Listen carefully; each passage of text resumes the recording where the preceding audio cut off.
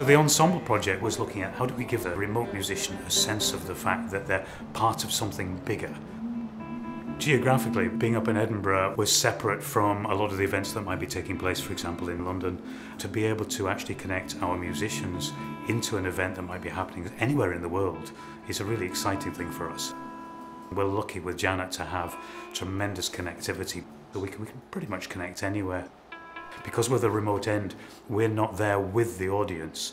We don't have a sense of that excitement of actually being on the stage, and that's why we teamed up with our School of Computing uh, to look at the user experience. It really is important to be interdisciplinary. We're living in a world now where everything is interconnected, and it was really great for us as technology designers to be able to work with uh, the music department. It was really interesting to see what excites them and what interests them. To bring together um, creativity and technology is really exciting. Playing in front of a live audience, it's the buzz you get on stage.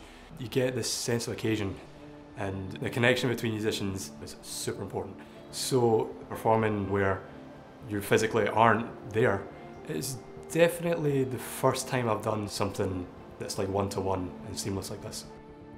Musicians work in a very intuitive way. They really feed off all the signals from each other to be able to perform. This dome gives the musicians at the remote end that sense of, of, of engagement with the actual physical space.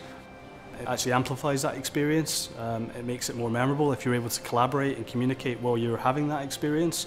So it's different from looking at it on a flat screen.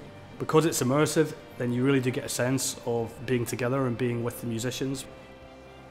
We used eye tracking glasses, so we were able to put the musicians here in the dome and analyse where they were looking. And we got some fantastic results from that. We discovered that they were looking at the, the singer's mouth and then they were, they were flicking to the fingers on the guitar neck. And that gave us a real insight into what was important.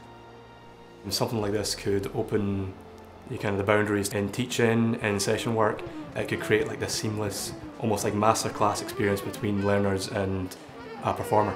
A lot of what I try to do is about communication and collaboration. So as a teacher, it's going to allow me to say, okay, well, you're interested in working with someone. We've got the technology downstairs that lets you go and work with someone in a remote location. So immediately it's not about me telling people what to do, it's about allowing people to work with people that they want to and find out how to do something. To be able to look at the future and see this hyper-connected world where distance melts, really, that, that for us is very exciting. As an educator, I'm going to be able to connect to pretty much anywhere and anyone.